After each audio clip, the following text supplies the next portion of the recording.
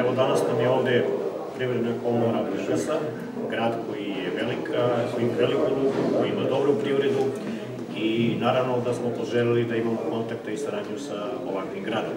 Mi smo danas ovde potpisali memorandum o razumevanju, taj memorandum naravno treba da bude okvir za tu buduću saradnju i uvek nam je želja da napravimo samo spoj privrede Pirota i Burgasa ili nekog drugog grada. Ja se nadam, kažem, da ovaj memorandum će omogućiti taj bolji kontakt, protok informacija, znači na kraju krajeva sve ovo treba, kažem, iz ovoga da proistekne jedan boljitak i za one koji žive u Burgasu i za one koji žive ovde u Pirotu.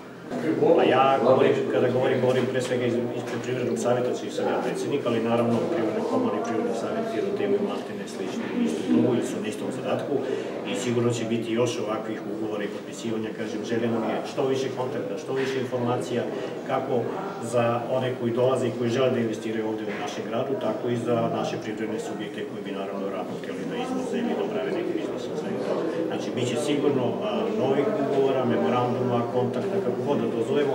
Želja nam je, kažem, da tu svoju neku svrhu ispunimo time što ćemo omogućiti, kažem, privredi bolje uslove za Upravo smo ovde sa predsednikom Privredne komore Burgasa razgovarali, znači nekih 400-500 km je udaljen Burgas.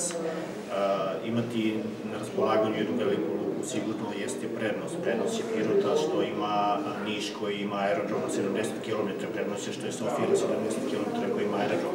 Mi ćemo do kraja godine imati potpuno uređen autoput. Sve su to infrastrukturne stvari koje bi trebale da doprinesu pre svega boljitak za grad Pirota.